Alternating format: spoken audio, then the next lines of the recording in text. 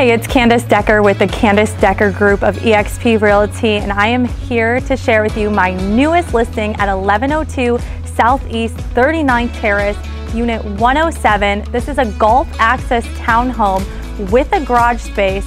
It's on a deep water canal. You can park your boat right in the backyard and go enjoy the sparkling community pool. Now, this has been meticulously cared for.